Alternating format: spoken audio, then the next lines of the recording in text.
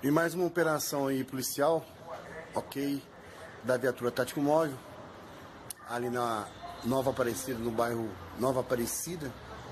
Durante ali a abordagem, o cidadão aí jogou algo atrás do muro.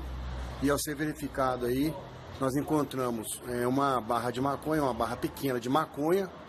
E encontramos duas munições intactas, é, sendo uma de calibre 45, outra de calibre 38, uma munição de deflagrada de calibre 45, ok? E esse cidadão aí já tem passagem pela polícia, está sendo preso em flagrante delito pelo tráfico de drogas, né? uma vez que ali é uma biqueira e não sai daquele lugar, está sendo apresentado aqui na delegacia. Vamos estar tá depois é, filmando aí os objetos apreendidos, ok? Esse cidadão é contumaz a ficar ali na mercância de drogas.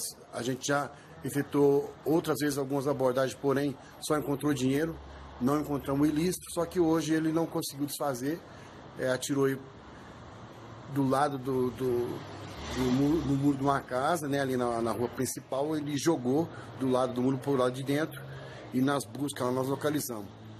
Tá, ele vai ser apresentado aqui na delegacia de polícia, preso em flagrante aí pelo tráfico de droga, preso também em flagrante aí por é, posse de munição de uso é, não permitido aí.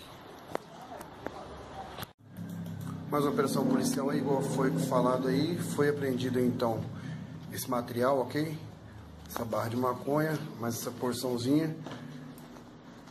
E essa munição aí de calibre restrito aí. Tá? Durante a operação aí, ali no bairro Nova Aparecida. Local ali é uma biqueira, é frequente o tráfico de droga. Constantemente a polícia está ali fazendo operação.